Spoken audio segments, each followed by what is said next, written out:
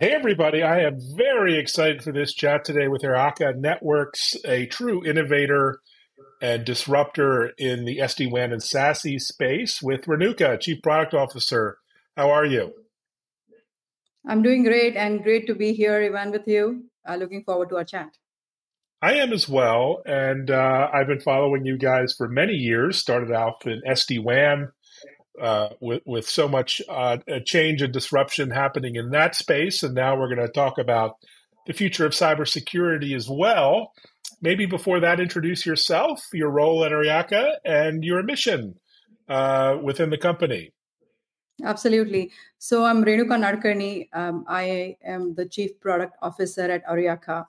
And uh, when I joined Aryaka, my mission was to bring Aryaka into the SASE space and build world class, state of the art uh, architecture that provides integrated networking and security. I have spent 20 plus years in the cybersecurity industry. I have built pretty much every single kind of technology that's out there. And um, as a security practitioner, one of my challenges always was how to enforce security across all the different network access and not having network control or access to the network that was like the number one challenge where the security products were it was always difficult to deploy them. And you may have the best security but if you cannot enforce it it's actually really uh, not of much use. So aryaka was the best opportunity to really truly combine networking and security to provide consistent and ubiquitous security with a very high high standard so that was what my mission was. Um, at Aryaka, I'm responsible for the vision and execution. So I have product management, engineering, cloud operations, as well as marketing, where we truly, this is really bringing our dream of SASE to life. So truly setting up the vision, making sure that we execute to our vision, and then we are able to uh, communicate and um, you know share with the customers what it is.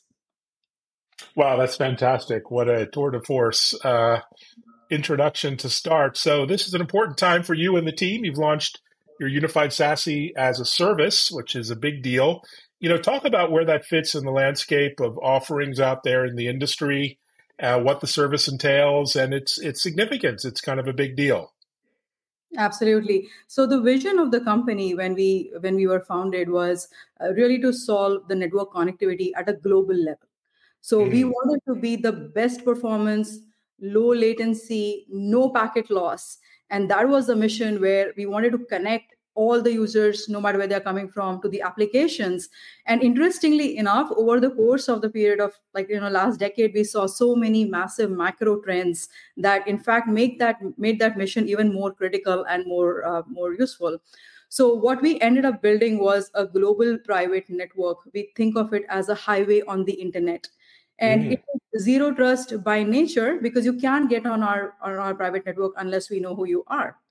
So as things were evolving as you know covid happened there were re- uh, remote users hybrid workforce uh, you know applications are now in the cloud in saas. So the enterprises were going through this massive journey of you can call it digital transformation or modernization.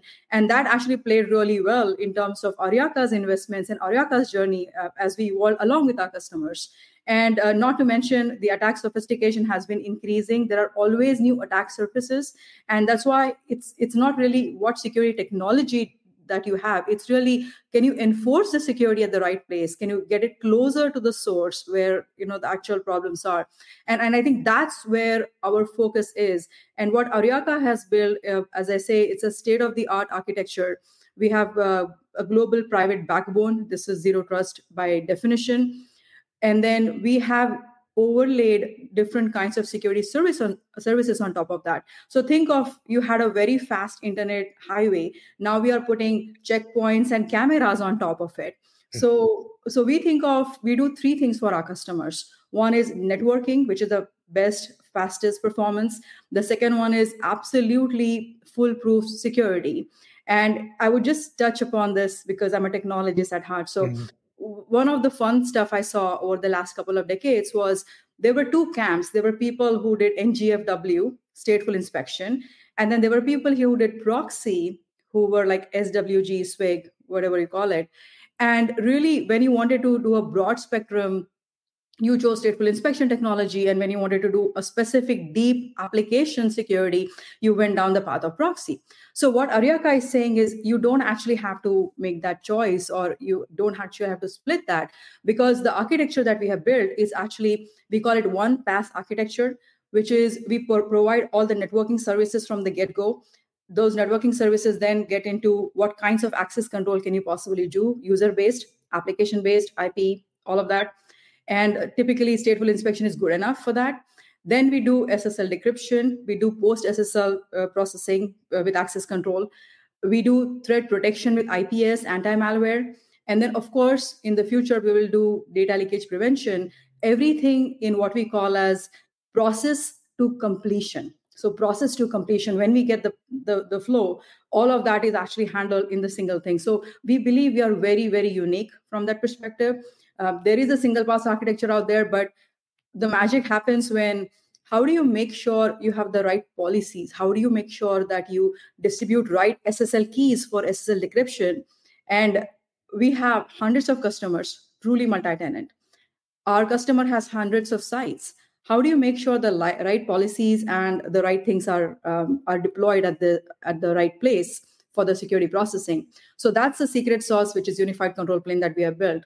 So there's a lot of very interesting technology challenges or nuances that we have solved, and uh, that makes us truly very unique. Uh, and there's one other last point I'll mention, the third point, which is, as I as I said, we try to do security closer to the source. Mm. And when users are coming from the branch office, we can offer the entire spectrum of security to, to, to them right at the uh, at the CPE there. So, unlike most SSE vendors, where you take all the traffic to the cloud for processing, we process it closest to the source. And that has many benefits. A, it's better security clearly because it's closer to the source. You don't know what's going to happen by the time you take it to the cloud processing. The second thing is it eliminates congestion and performance bottlenecks because now we are able to perform at a global level at the cloud but then because of the local breakouts the total amount of traffic that we need to process and the latency that we that the customers and the users have to handle uh, is much lower.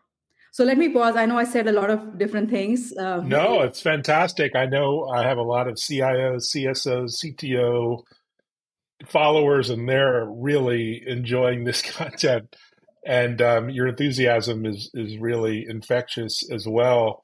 Um, so maybe describe how does a client, whether it's an enterprise or an MSP, how do they get started on this journey? It's typically there's a lot of technical debt, a lot of legacy out there. Um, you seem to be adding an easy button a bit with the one pass architecture. Maybe describe how how folks are onboarded and get started. Absolutely. Uh, actually, a very good question. And uh, if you saw our tagline, one of the things we say is you can get it all. And that's where mm-hmm. Uh, typically when these kinds of decisions are made in the enterprises uh, there are considerations for uh, should i compromise my security for performance if i put mm. all these extra things um, you know what will happen so there are technology considerations and there are trade-offs between performance and security. And then there are operational considerations which is where you know how do you actually deploy this right?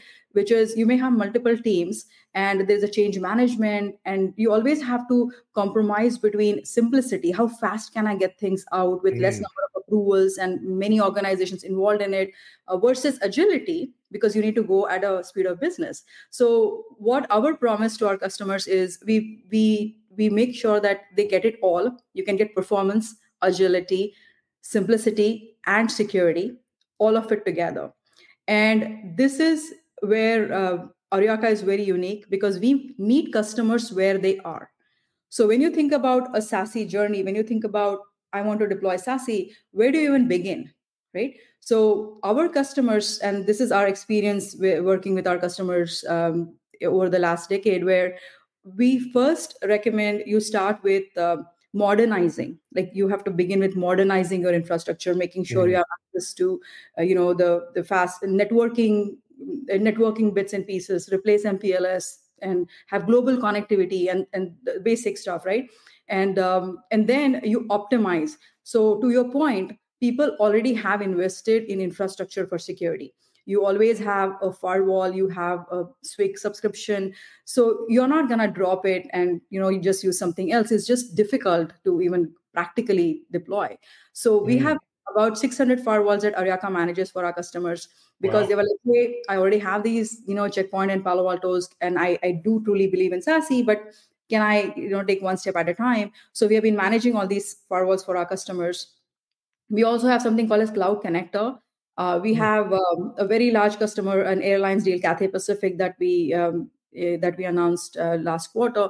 Uh, they had Microsoft Defender for their CASB and they were like we have done a lot of work in configuration. We want you to work with that. So we have a cloud connector. And and remember we are actually the network pipe. We are the plumbing. We are the network pipe. So we also do traffic steering.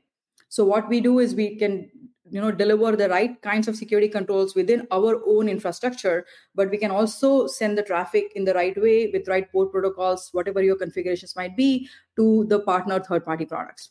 And then the last stage of their journey uh, we call transform wherein now you're ready to integrate more services you are in, you are more comfortable with the way it works and uh, that's truly transformation.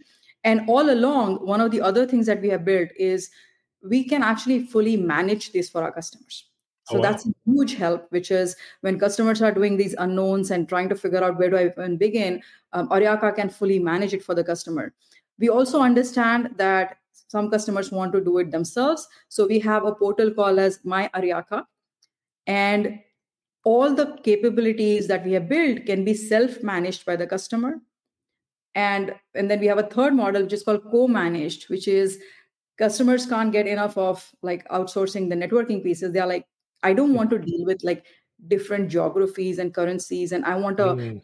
work in Brazil and in you know um, Chile and and wherever, right? Uh, but I don't want to deal with who are the service providers, what is the currency, how am I, what SLAs. Mm. So Aryaka is a one-stop shop in that sense. Uh, but when it comes to the security people, as we all all security people are inherently, uh, they want to have more control and they need to know exactly what's going on, and uh, and and that's basically where they want to do self-service. So what we have is very unique. It's called co-managed offering, and we can meet customers anywhere uh, on that path. Brilliant! Wow, that was um, that, that's quite a variety of options, and, and so the customer benefits are pretty clear. It sounds like reduced opex and reduced capex and reduced network expenses. But what, what else is, is is that really the the value uh, offering, as it were? Yeah. So so there are there are some very interesting side benefits. Okay. Mm. I'll tell you about. Um, so we had like three of our customers um, over the last six months uh, who were actually subjected to a ransomware attack. Mm. And the connections between, uh, like, the, the there were actually connections between their sites, uh, which ended up becoming, we figured it, it was a lateral movement. But but those things were actually allowed by the security controls. So all this traffic was allowed by whatever security mechanisms they had. But with Aryaka we were like we have never seen these things communicate before. What is going on? Why do we see this extra traffic that we are not used to? So i think observability is a very interesting side benefit that we get because the minute you integrate your networking and security stack now you have so much more information that you did not have before so this kind of observability is super unique and that's like like really something uh, you know we can help our customers with as well. Uh, and we have a whole data center where uh, we actually capture the flow of um, the matrix of all the traffic that goes through our cloud. So that's that's one of the very very interesting as we all talk about ai and you know what we can do uh, we actually have the we are very fortunate that we have that access to the data that now we can do interesting things with it we can share it with our customers and you know they can um, they can take it forward. So that's definitely thing one thing. Other thing is tco uh, we all know about this. Mm. whenever uh, you are streamlining your operations when you are streamlining you know the appliances and and the network path um, there's absolutely lots of tco benefits. We did a test uh, we did a uh, a survey of our customers and on, on an average it's like 30% gains um, that people see when they adopt SASE and when they integrate networking and security. Wow, fabulous opportunity for customers. And you guys were an early first mover in the SD WAN space. And of course, Uh, dozens of other companies then followed up and are, are active there. Now you're innovating in the SASE space. Well, how do you see the landscape in the market, and and how do you? I know you're not in marketing per se, but how do you uh, see yourself getting the word out and uh, getting those unique advantages you described out to customers? So one of our biggest, uh, you know, uh, success stories are uh, when our existing customer CIOs they talk mm. about, and they are. Uh, it's like a lot of our customers are when they change jobs, they actually take us along with them uh, that is how mm-hmm. we have organically grown. Um, we crossed $100 million organically.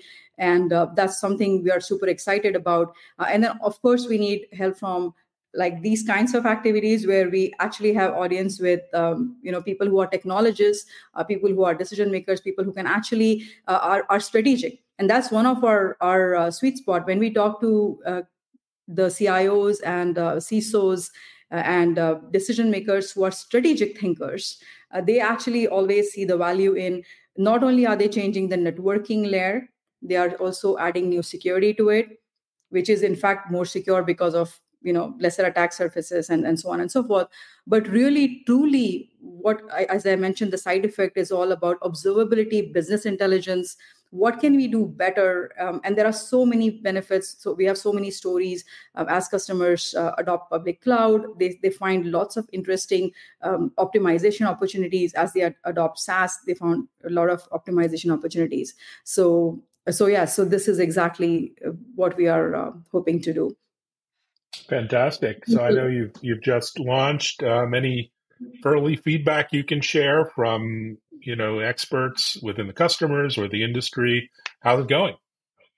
It's going great. It's going awesome. So we announced it uh, for a ga after we had 40 plus customer conversations and 10 deployments because we wanted wow. to make sure that uh, our thesis actually holds true so when we initially started back in November, mid-November, uh, we actually started uh, telling our story to our customers. Um, clearly, some of them were our design partners. They were asking us for this for a very long time.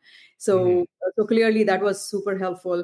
And uh, and some of these are just like really simple conversations where uh, their uh, certain products are being end of life they have appliances which are which need to be replaced. So a lot of these conversations were almost like no brainer from that perspective because it makes so much sense to add network security and um, and networking.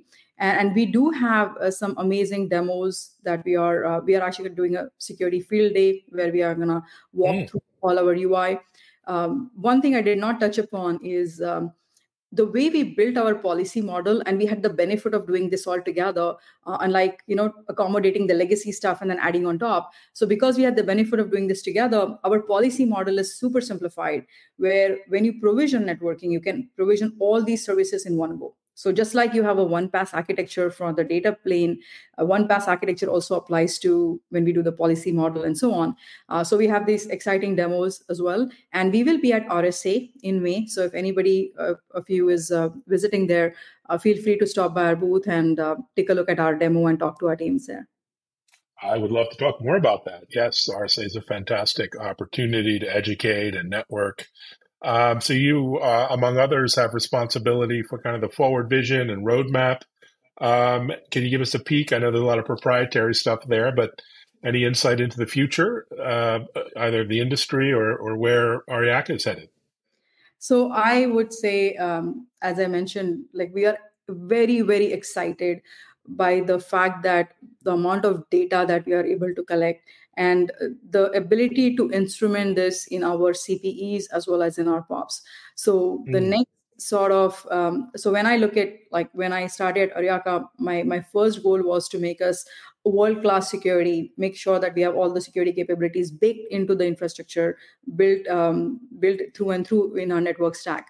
Uh, my second, like as I go to the next phase of Aryaka, uh, where we are heading towards is really become the best observability and provide the best insights possible to our network in terms of what's going on where. Uh, so that's definitely going to be the next phase for us. And uh, obviously, we'll use the latest and the greatest technologies. We'll we'll try to, uh, you know, get our ha- get our hands dirty with things like uh, AI technologies and and so on. So that's that's absolutely something uh, on in our uh, near term horizon.